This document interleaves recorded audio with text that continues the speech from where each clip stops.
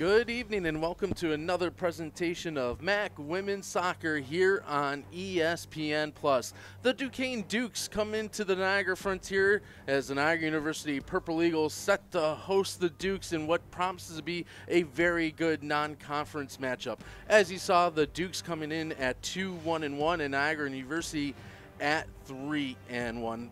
Again, good evening. I'm Frank Gill. Thank you for joining us. Again, these two schools have found their stride offensively in this fall season after struggling offensively in the spring, but we'll get to that later in the tale of the tape. Let's give you a couple players to keep your eyes on, and there are a couple of freshman contributors. For the Dukes, it's number 28, Emma Bundy, the freshman from Wexford, PA, already with three goals and assists in four games, and one of those goals was a game winner in their last game at the 53 minute. Bundy would find the net and have the Duquesne Dukes beat out. Keep going. Keep going. Keep going. Keep going.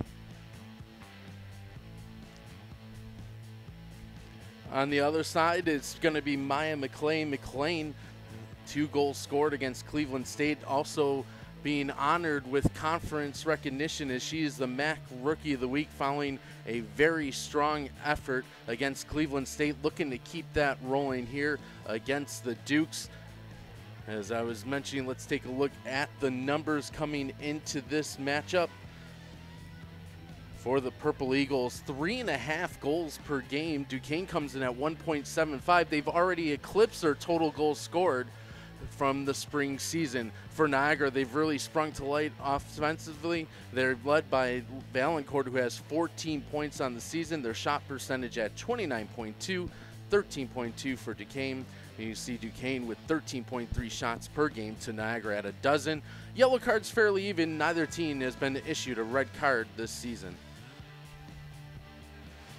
When we Yep. I